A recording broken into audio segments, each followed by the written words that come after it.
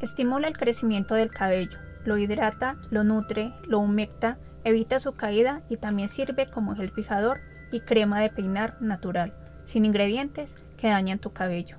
Si quieres saber cómo se prepara, quédate hasta el final del video. Necesitas dos trozos de sábila o aloe vera.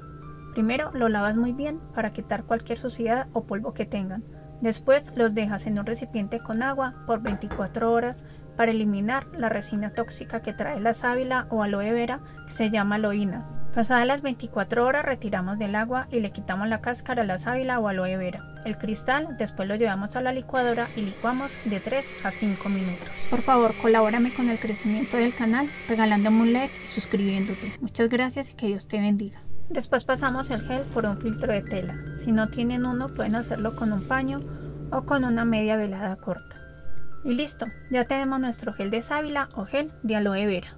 Este gel es un gran hidratante capilar, reduce la caspa, acelera el crecimiento del cabello ya que contiene enzimas con un gran poder antioxidante que favorecen el crecimiento del cabello. Además ayuda a rejuvenecer las hebras capilares y los folículos pilosos.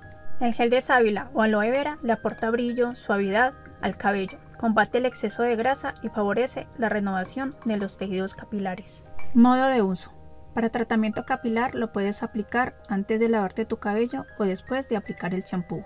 Lo dejas actuar por 30 minutos y después enjuagas.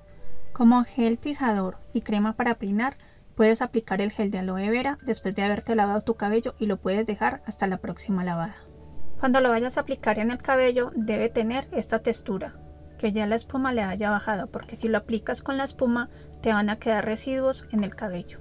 Puedes guardar el gel de sábila o aloe vera en un recipiente, preferiblemente de vidrio, y lo dejas en el refrigerador y dura más o menos de 10 a 12 días. Este gel también te sirve para preparar otras recetas capilares caseras que llevan otros ingredientes. Gracias por ver el video hasta el final, espero te haya gustado. Recuerda suscribirte al canal y activar la campanita en todas las notificaciones. Hasta pronto.